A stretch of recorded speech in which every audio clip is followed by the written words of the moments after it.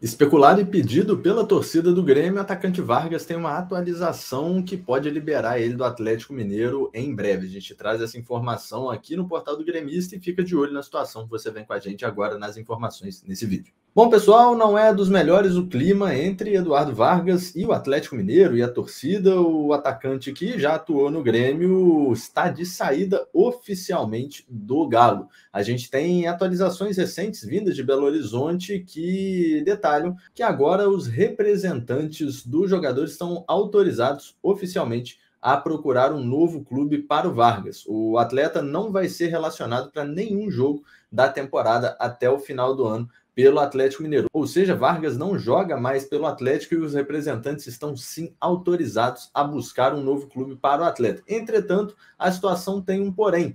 A autorização é para que essa busca seja feita principalmente no exterior, seria uma preferência do Atlético e também do próprio Vargas a princípio. Isso não impede, é lógico, sondagens de clubes brasileiros para a próxima temporada. Vargas segue com vínculo com o Atlético Mineiro. Esse contrato não vai ser rescindido até o final do ano. Esse contrato está vinculado ao Galo e depois disso o jogador vai então rumar para outra equipe. Então, dessa forma, a gente tem concorrentes europeus, a gente certamente vai ter clubes brasileiros interessados. E o Grêmio pode ser um deles? Pode não ser um deles? Deixa aqui nos comentários a sua opinião. O que você acha? Vargas no Grêmio para o próximo ano seria uma boa ou não seria uma boa? Muitos torcedores, com essa rusga entre o Vargas e o Galo, acabaram pedindo o retorno do atleta ao Grêmio, visto que o ataque é uma posição que o Grêmio vai ter que repor para a próxima temporada. É, o Diego Souza ainda não tem a renovação acertada, ou outras posições no ataque ainda têm carências, e o Grêmio, vários torcedores, então,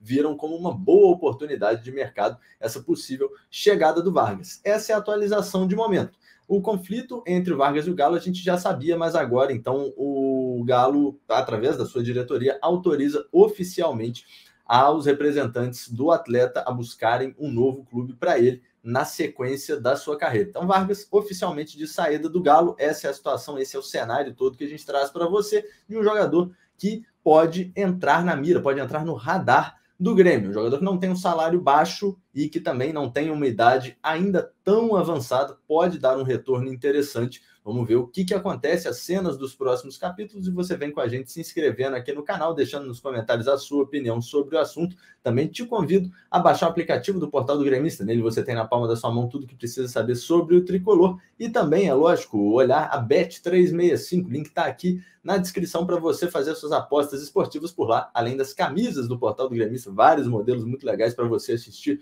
o jogo do Grêmio, cheio de estilos. Camisas também estão por aqui na descrição do vídeo. É isso então, pessoal. Informações passadas, Vargas liberado para assinar com um novo clube. Pode entrar no radar do Grêmio. Um grande abraço e até a próxima. Agora ficou muito mais fácil para os gremistas ficarem atualizados sobre o Imortal Tricolor. Aplicativo Portal do Gremista. O maior portal de notícias sobre o Grêmio agora na palma da sua mão.